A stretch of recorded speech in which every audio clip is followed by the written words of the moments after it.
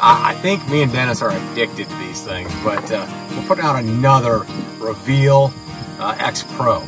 And uh, man, they're cool. They got the LCD screen in them and uh, you can aim them. Um, you don't have to hook them up to your phone. You know, you just look right at the camera, you can aim it and it's, it's sweet. But I can tell you one thing, um, we're running a bunch of these this year and we are after a couple of mega giants. And uh, if it all works out, we're gonna get one right here on the scrape. So we're gonna put out the scrape fix. It's uh, scrape fix time. Um, we've got the Vine, which is an awesome tool um, to basically uh, set up a mock scrape. Now, we've actually got a scrape that um, has started here.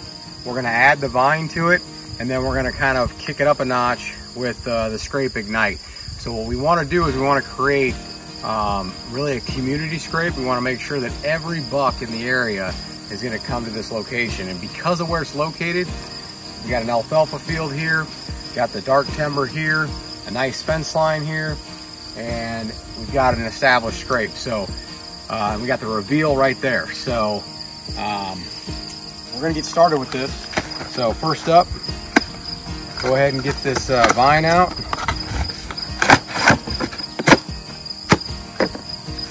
Take this longest branch you see we've already got a broken branch there. So they've been utilizing this. And all we're gonna do is just give them a little bit more to chew on, rub their glands on, all that kind of stuff. We're just gonna wrap this vine right in here with this oak leaf.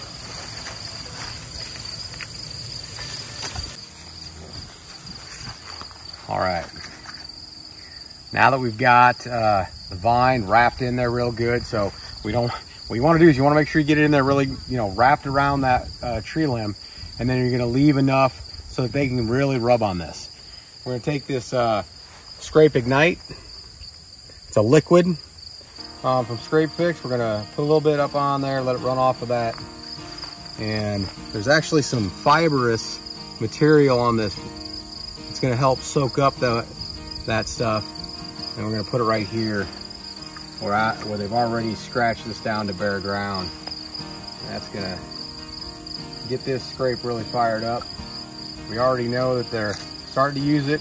It's early September, so it's still plenty early. And that's gonna get it started. Now, we just gotta wait for our reveal. Start sending us some pictures and videos and uh, stay tuned. Hopefully this is a nice little trick that helps get deer in front of cameras get a nice extended video and that tells us really what kind of deer it is.